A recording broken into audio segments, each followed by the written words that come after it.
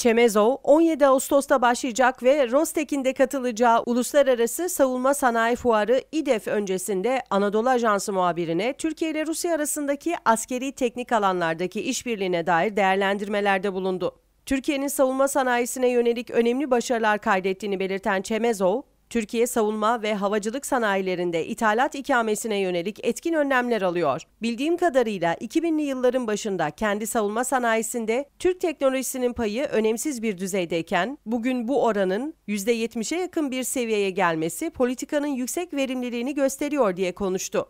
S-400 hava savunma sistemlerine yönelik adımlarında iki ülke arasındaki işbirliği açısından önemli olduğuna işaret eden Çemezov, Türkiye'nin en güncel S-400 hava savunma sisteminin tedariği için sözleşme imzalayan ilk ve tek NATO ülkesi olduğunu ayrıca vurgulamak istiyorum. Bu ikili ortaklığımızın gelişmesinde önemli bir faktördür dedi. Türkiye ile savunma sanayinin çeşitli alanlarda işbirliğini istişare etmeye hazır olduğunu kaydeden Çemezov, Türkiye ile karşılıklı fayda temelinde teknolojik işbirliği konularını istişare etmeye hazırız. Bu tür bir çalışmanın detayları sadece tarafların müzakereler sırasında varacakları anlaşmalarla ulaşılabilecek meselelerdir değerlendirmesinde bulundu.